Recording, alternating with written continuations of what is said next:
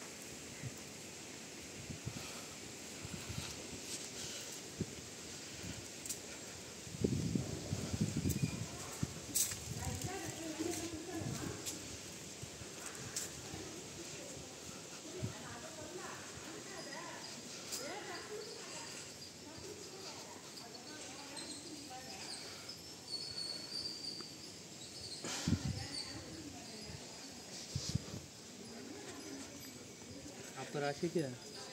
जन्म नक्षत्र।